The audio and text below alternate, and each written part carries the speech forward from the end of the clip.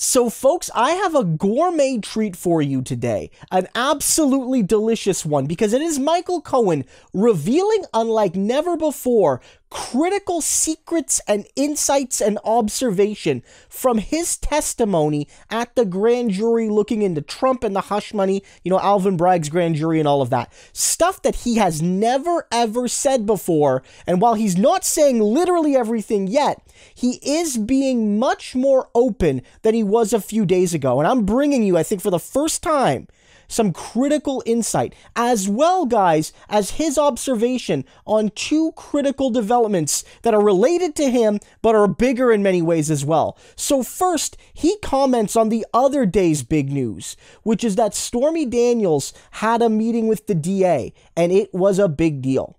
If I can come at it this way, um, do you believe you were the last witness they heard from? You know, I don't know the answer. Again, I'm not involved in the inner discussions regarding the completion of this case or the length of time it will take before which Alvin Bragg's office makes its ultimate determination. But I would suspect that I am certainly close to the end of the testimony that is necessary. Did the questioning seem informed by previous appearances from uh, Hope Hicks or Kellyanne Conway in terms you know, of what... again, N- Nicole, you're the greatest. Love coming on the show, and I plan on coming uh, on the show very, very soon. I really don't want to get into any of the sum and substance of what we discussed and how they based their questions or predicated their questions upon. It would just be unfair to do. Let me ask you if you share Andrew Weissmann's legal analysis then that the, the reemergence of Stormy Daniels today as someone that the DA's office talked to today, I think, and is willing to come in and talk again. Um, if that signals that an indictment is inevitable, do you share Andrew Weissmann's assessment? Well, I think many people made that assessment, and many people made the assessment prior to the reemergence of Stormy, um, that it was happening anyway. So there's a lot of opinions that are out there. Um, if in fact that Stormy is someone that they are going to look at uh, as a substantial witness for this case, I am certain that she will do a fantastic job. She's very quick on her feet. And again, the most important thing that needs to be remembered here is that the truth is what will prevail, not facts, not fiction, not not fiction, but merely the facts, and the facts do not benefit the former president. So, of course, like on the one hand, you might say, okay, well, obviously the case surrounds her to some degree, obviously, because it deals with payments to her.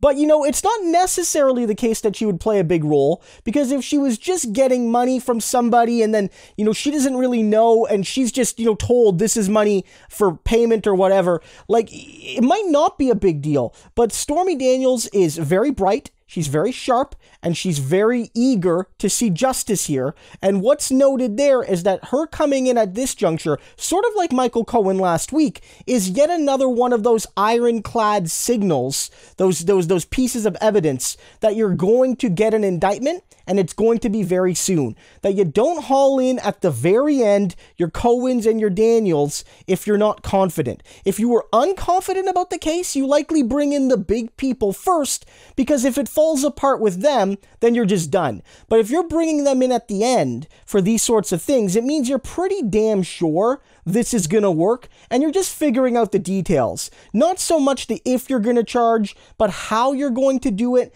how you're going to argue, what specific charges you're going to make. That's the kind of thing. But it gets even better because we get a bit of Cohen reacting to Trump's lawyer meltdown. I did see Ari Melber's handling of Joe Tacopina. And to be honest, I was embarrassed for him. I was actually embarrassed for our profession he looked completely unhinged. There's something definitely wrong there. But the worst thing is he's following in Rudy Kaluti's steps. When you go out and you make yourself the center of attention, at least know the facts. It's one thing when you're talking to some of these other stations where facts don't matter. It's merely playing to a party of one. You're not playing to a party of one when you're sitting across the desk from Ari Melber. And he wasn't going to just accept whatever answer that Joe Tacopina decided to put out there. He was going to challenge him. And sadly, right, it's not the first time. George Stephanopoulos did the exact same thing and schooled him. So I showed you that last night. Uh, you've seen it from every other progressive channel. Everyone covered it because it's hilarious and it's big news. But like three times yesterday, but specifically one time, Trump's lawyer had an utter meltdown and, and, and indeed invaded the personal space of a national news anchor on MSNBC, Ari Melber, trying to steal his paper away from him because it had proof of Trump's lies on it right? And it had proof that the lawyer either was lying himself or, to be charitable, doesn't know what the hell he's talking about and got caught in 4K in front of millions all over the world watching him crumble because his client is terrible. And man, it's tough being a lawyer, I bet. I'm not a lawyer, I wouldn't know, but I'm guessing it's tough. But it's especially tough when you have to lie for your client or your client doesn't tell you when they're lying to you. But there's this critical moment, guys a critical moment where he reveals something and other experts caught on to it. Cohen, there was a massive crowd, uh, like a giant press conference uh, when Cohen came out of the grand jury today. And he revealed something big. See if you catch it. Then we're going to bring the analyst in. But I want to see if you guys catch it. What we know with a certainty is that the federal prosecutors working for Donald Trump in 2018 said in writing publicly Donald Trump directed the word is directed. Federal prosecutors working for Trump directed Michael Cohen to make hush money payments, and then they were falsely booked on the company records. That is the federal prosecutors. So we stay with the truth. Michael Cohen took responsibility, and now it's in the hands of justice and equal justice under the law. Any comment about what you're you know, calling, calling, calling your client a liar? We're, we're not going to go any Stormy, further than what I just said or what Michael just said. Lanny, Did you get questions from the grand jury? Spoke to prosecutors today. What do you make of that? We do not know that, and we're not going to make anything. Her attorney, her attorney says that they spoke to prosecutors. She was forthcoming, as Michael said he has been, and they were impressed with the prosecutors, as Michael has said as well. So we don't know anything about that, and we uh, have nothing to say about it if we did. Michael, will you testify at trial if called? If called, absolutely. As I said, I, I've made it. Um, it's a commitment to the district attorney that I would continue to provide any information uh, and any cooperation that they that they need. Mr. Trump's attorneys say that the DA has backed himself into a corner. What do you make of that? So um, I, I, know Mr. Trump's attorney, and I've seen his uh, television performances, and he's a, a very effective attorney. But what he doesn't have are facts. We know what the facts are. His client doesn't tell him the facts. He's famous for doing the opposite. So he has my sympathy representing a client who is known not to know what the truth is. Lanny, what what's your sense whether the district attorney ultimately decides to move forward with an indictment? How certain are you? I'm not certain at all. I do. Uh, I am certain that they've been very thorough and factual and fact by fact and carefully with Michael asked him to tell them the truth and the facts. And we don't have any um, prediction on what they're going to do, but we're pretty confident that Michael has done a good job in telling them the truth. Michael, Michael your impression of the grand jury? I'm sorry? Do you feel vindicated? This isn't a question of vindication. It's not a question, as I stated before, about revenge. This is a. My position is that at the end of the day, Donald Trump needs to be held accountable for his dirty deeds if, in fact, that's the way that the facts play out. Plain and simple. This is not about him. This is about holding accountability, truth to power, and everything else in between. Michael, Michael, Michael. What do you make of Trump calling himself an extortion victim? Uh, again, I won't comment on what he wants to call himself. Many of us call him many different things. Michael, if you go with the Guardian, Michael, um, do you think you provided the most complete account of the episode to the district attorney and the grand jury? Oh, I'm certain of that. And do you think it's damning for Mr. Trump?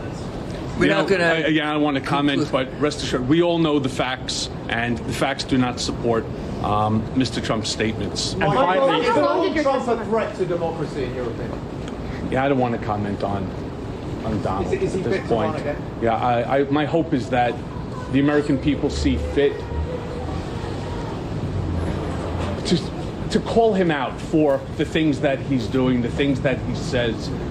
I would prefer somebody else over Donald Trump. Yes, And what is your message to the Republican Party? think twice.